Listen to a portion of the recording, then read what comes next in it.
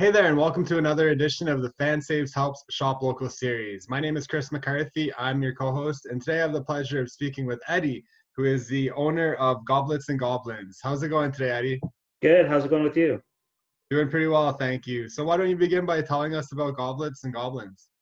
So, um, we're Newmarket's first board game cafe, um, where you basically come in, uh, pick a game out of our huge library of games. We support indie games and also a lot of mainstream games. Um, they, and you sit down at a table, play some games. Uh, we also have snacks and uh, a liquor license as well. That's really cool. It sounds like a really good time. How have you kind of been managing with COVID 19?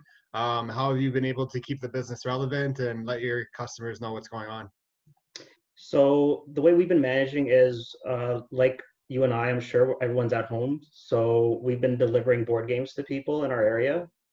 Um, so that's a, lot, a good way of supporting us. And uh, we've just trying to been getting our name out there. We've barely been open since this started. So it's a tough time to start a business for sure. yeah, right. but um, okay, so uh, people can go on FanSaves Helps dot CA. They can buy gift certificates. Uh, maybe talk about what those gift certificates can be used for in the future.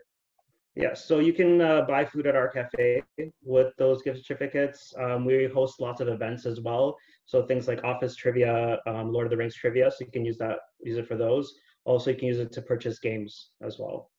Awesome. If, and if someone wanted to learn more about your business, where could they go to get more information? Uh, www.gobletsgoblins.com. Awesome. And you guys are on social media as well? Yep. So just at Goblets Goblins uh, on awesome. Facebook, Twitter, and Instagram. Okay, and if you were to speak to any of uh, your current customers right now, or anybody that's been supporting you throughout this whole uh, COVID nineteen situation, like what would you want to say to them?